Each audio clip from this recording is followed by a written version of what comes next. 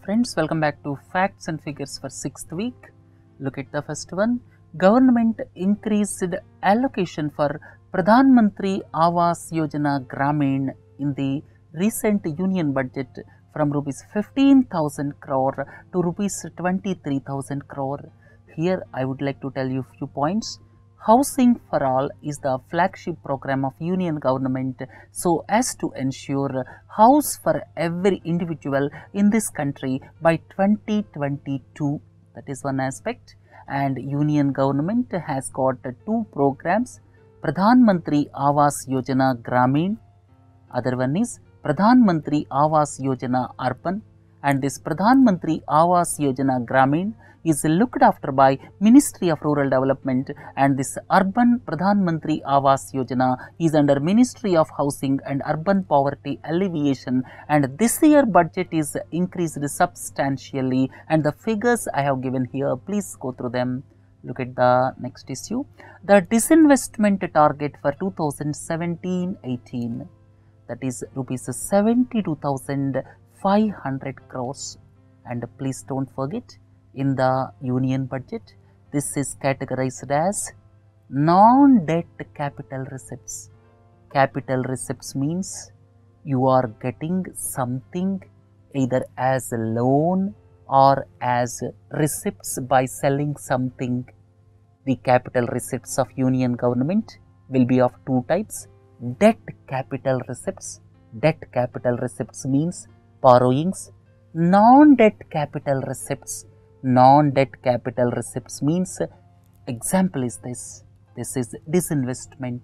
Disinvestment means selling government's ownership in public sector enterprises. When some property is sold, the income is capital receipts. Please don't forget. So, for the union government, this disinvestment income is non-debt capital receipts. That is one part and disinvestment all of you are familiar. Selling government's stake it can be minority stake sale or strategic sale. That means selling majority stake sale. And last year the target was rupees 56500 crore. But unfortunately for the past 3 4 years the targets could not be met. The target could be achieved only up to 60 percent 70 percent something like that. And this year the target is rupees 72500 crore. Out of this minority stake sale will be 46500 crore and strategic disinvestment that means selling the majority stake sale that is the strategic disinvestment that is 15000 crores. And another important aspect is through listing of general insurance companies rupees 11000 crores. Listing of general insurance companies. Please look into this picture. Government recently announced that these five general insurance companies will be listed and at present the government stakeholding is 100% in these five companies. Government's stakeholding is 100% in these five companies but now government is going to sell 25% in each of them by listing in stock exchanges and by way of selling 25% in each of these general insurance companies government is expected to get rupees 11000 crores. That is a part of this 72500 crores. So this is all about this disinvestment target in the budget which you can say non debt capital receipts right? And here please don't forget GICRE is the reinsurance company. It is India's only reinsurer and remaining four are general insurance companies which is in the business of selling insurance to firms as well as individuals. The purpose of this reinsurance company is it will take part of the risk from other general insurance companies look into the next one. Government wants to provide high speed broadband connectivity on optical fiber for more than 1 lakh 50,000 gram panchayats by the end of 2017-18. Two, three important points I would like to tell you. the name of the program previously it was National Optical Fiber Network and now the name is changed to BharatNet. What is the purpose of BharatNet? The purpose of BharatNet is to connect overall 2 lakh 50,000 gram panchayats across the country with the high speed broadband. And in the first phase, by the end of 2017-18 financial year, 1 lakh 50,000 gram panchayats out of total of 2 lakh 50,000 gram panchayats will be connected. So, if someone talks about BharatNet that is giving broadband connectivity across the hinterland to various villages. Look at the next one. Allotment for BharatNet program. We have just now discussed about BharatNet and the allotment this year is rupees 10,000 crore.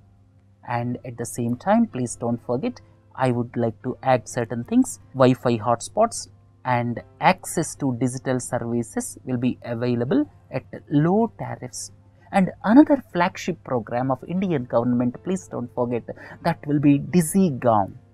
What is Digi Gaon? Digi means provision of telemedicine education and skills. Three things, provision of telemedicine, education and skills through digital technology to the people. This is made possible when this BharatNet program is expedited so, I thought it appropriate to tell you about Digi Gaon at this juncture. So, Digi Gaon, if someone talks about it, it is basically provision of telemedicine, education and skills through digital technology to the people. Look at the next one. Government plans to eliminate Kala Azar filariasis by 2017 and government in the union budget speech, it was announced that government wants to eliminate certain diseases by certain target dates. First one is this Kala Azar filariasis. These will be eliminated by 2017, leprosy by 2018, measles by 2020 and tuberculosis by 2025 and eliminating tuberculosis by 2025 is the biggest and real challenge for the government. And recent times, drug resistant tuberculosis is the real worry for the world. And another important announcement in the budget is 1.5 lakh health sub centers. Health sub centers are situated in major villages and small towns and this 1.5 lakh health sub centers will be transformed into health and wellness centers right? So these are the initiatives in the union budget. And another important aspect in the budget is a new program sankalp. Sankalp was announced in the budget. Three four points i would like to tell you. What is the full form of sankalp? Sankalp means skill acquisition and knowledge awareness for livelihood promotion. Please remember this full form. This is skill acquisition and knowledge awareness for livelihood promotion. And the second important point is what is the purpose of this Sankalp? Sankalp main purpose is giving market relevant training. Market relevant training is very much essential. Basically, to bring youth nearer to the jobs. The skills of the youth must be improved and they should match with the market relevant skills. So, market relevant training will be given to 3.5 crore youth at a cost of rupees 4000 crores and this will be implemented by the Ministry of Skill Development and Entrepreneurship. And please don't forget there is already a mission which is known as Skill India Mission. Skill India Mission main goal is to improve skills of 40 crore people by 2022. Please don't forget. These are the flagship programs of uh, union government. Look at the next one. In 2017-18, government would launch Strive. This is another program. Just now we discussed about the Sankalp Second important program is Strive. What is the meaning of Strive? Strive means skill strengthening for industrial value enhancement. Skill strengthening for industrial value enhancement. What is the purpose of this? Basically, the purpose of this program is to impart market relevance of occasional training in ITIs. So, for improving vocational training in ITIs, industrial training institutes. So, this strive is meant for improving the vocational training in ITIs and the previous program Sankalp is basically providing market relevant training. So, these two schemes please don't forget and strive means skill strengthening for industrial value enhancement basically to improve vocational training in ITIs and the allotment in the budget is rupees 2200 crore. For Sankalp the budget allotment is rupees 4000 crores and for Strive the budget allotment is rupees 2200 crore. Look at the next one rupees 1900 crore will be spent basically for computerization and integration of 63,000 primary agricultural credit societies. Two important aspects I would like to tell you. These will be brought under core banking. This primary agricultural credit societies will be brought under core banking and they will be integrated with district central cooperative banks. All of you are familiar with district central cooperative banks. These 63,000 PACS will be integrated with district central cooperative banks. And second point here to note is this will be implemented by NABARD. Third point is budget allotment is rupees 1900 crore. These things don't forget. Look at the next one. The target for agricultural credit for 2017-18 is rupees 10 lakh crore. And we discussed in why and how Pradhan Mantri Fasal Bima Yojana will cover up to 50% of cropped area by 1819 and the allotment for Pradhan Mantri Fasal Bima Yojana is rupees 9000 crore. And additional rupees 20000 crore is given for a long term irrigation fund rupees 5000 crore for micro irrigation. And these two will be implemented by NABARD. And electronic national agriculture market will be expanded from 250 to 585 and each electronic national agriculture market will be given rupees 75 lakh. At the same time dairy processing and infrastructure development fund will be set up. The allotment for this year is that means during 2017-18 will be rupees 2000 crore. And over a period of 3 years total allotment for this dairy processing and infrastructure development fund will be rupees 8000 crores. So, these are the important activities as far as agriculture is concerned. In Union Budget 17-18, it was announced that strategic oil storage in the caverns. At present, there are three locations where this crude oil is stored that is strategic oil reserves. That means to take care of around 10 days or 15 days of our fuel requirements. If something happens outside world if something happens for the supplies government should take care of the requirements keeping that in mind. Three facilities underground storage facilities were created at Visakhapatnam in Andhra Pradesh, Mangaluru and Padur in Karnataka. And now in this year's budget at two more places this type of uh, storage facilities will come up. One is Chandikol in Odisha and the other one is Bikaner in Rajasthan. Right? Look into the next one. This is government plans to introduce 20 lakh Aadhaar based POS devices by September 2017 and they will work with Aadhaar as the base. Look into the next one. Union Finance Minister allocated rupees 2 lakh 74,114 crore for defense. And please don't forget, government's total expenditure is around 21 and half lakh crores. Around 21 and half lakh crores is the government's total expenditure and for defense purposes the expenditure is 2 lakh 74,000 crores and this excludes pensions of defense personnel. Excluding pensions of defense personnel the expenditure for defense is 13 percent of uh, total allocation of central government's expenditure. And it comes to 2.5 percent if we add pensions. If we add pensions total defense expenditure comes to 2.5 percent of gdp and if we subtract pensions it comes to somewhere around 1.6 to 1.7 percent. And here capital expenditure is rupees 91000 crores.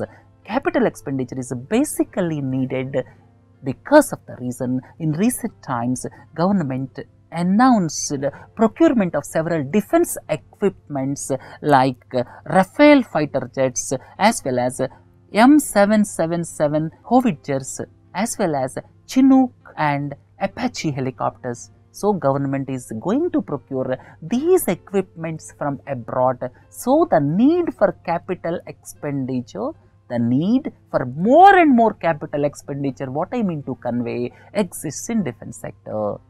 Then, name the country which became the first to completely divest investments from fossil fuel related projects and the country is Ireland. Please look into this. This is Ireland and the four regions are part of United Kingdom. United Kingdom, England, Wales, Scotland, Northern Ireland.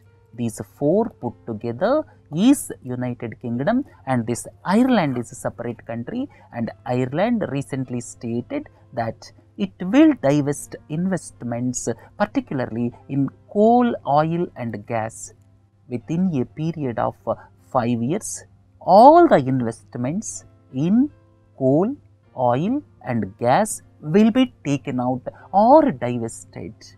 Basically, the intention is to give more emphasis for renewable energy and basically to control carbon emissions. The country, please don't forget, Ireland. Look into the next one.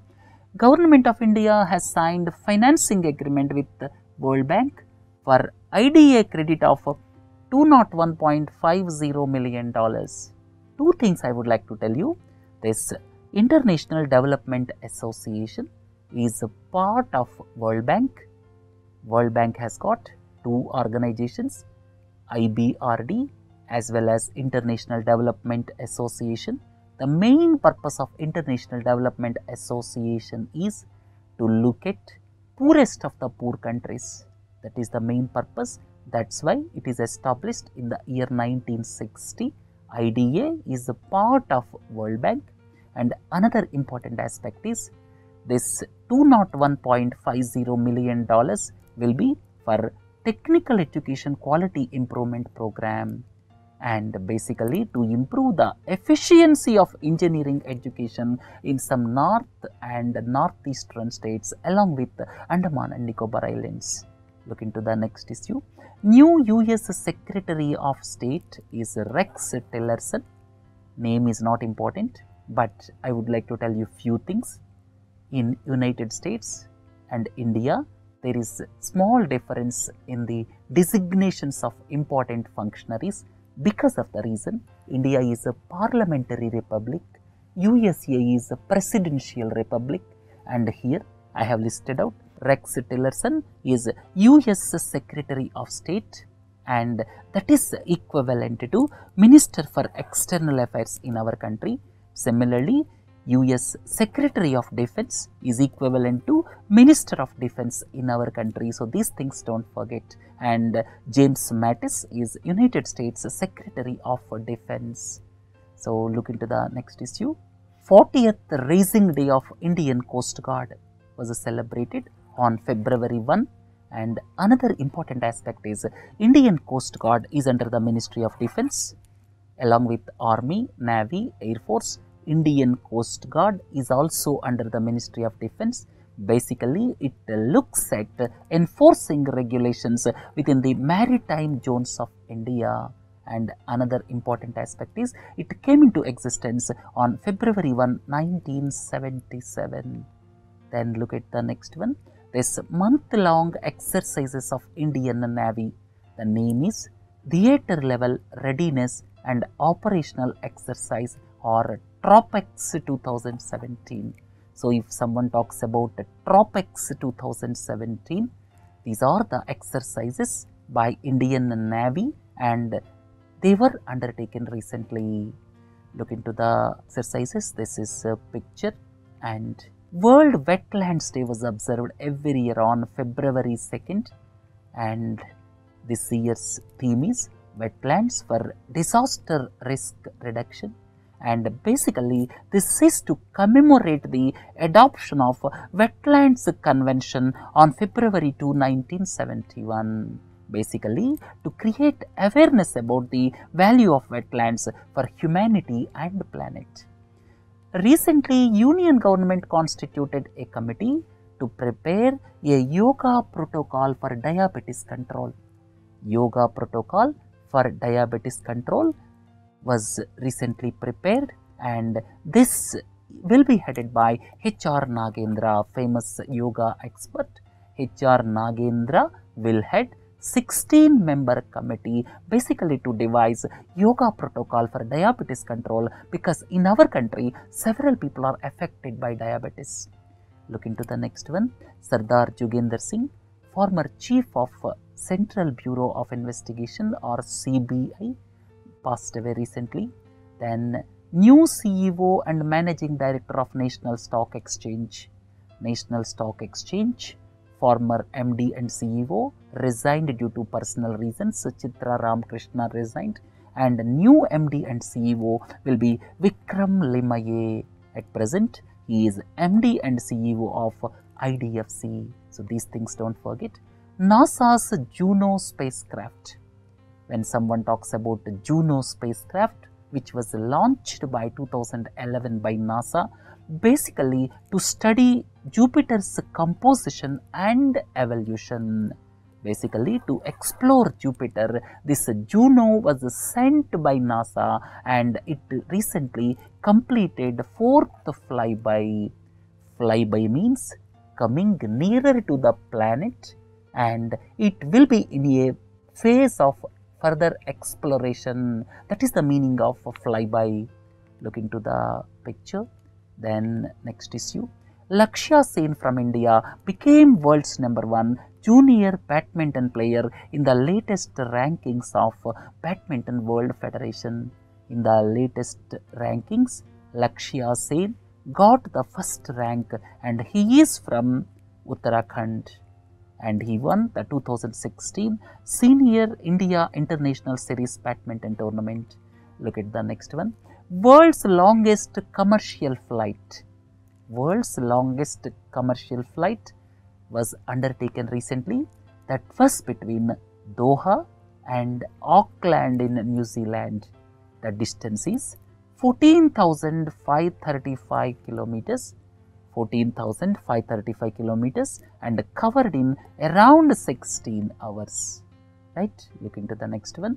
India and Austria have signed a protocol to amend the existing double taxation avoidance convention between the two countries. And double taxation avoidance convention amendments are basically to help curb tax evasion and tax avoidance and it will also enable mutual assistance in collection of taxes. Look at the next issue. Queen Elizabeth has become the first British monarch to reach the milestone of 65 years on the throne. And please don't forget, when something completes 65 years, it is known as Sapphire Jubilee. Sapphire Jubilee means completion of 65 years. Look at the last one. Union government constituted a six-member committee to improve India's Hajj policy. I would like to tell you certain background with regard to this. Supreme Court in the year 2012 ordered gradual abolition of Hajj subsidy. Government gives Hajj subsidy and that means for the pilgrimage to Hajj, Hajj is in Saudi Arabia and for the pilgrimage government gives a subsidy Supreme Court in 2012 stated that gradual abolition of Hajj subsidy to be done by 2022. Supreme Court's contention is this expenditure can be used for other social development aspects. And the second important point is government to devise various guidelines. One committee was constituted headed by Afzal Amanullah, former Consulate General of India in Jeddah. Right friends, with this we came to the end of uh, facts and figures. Have a nice day. Thank you.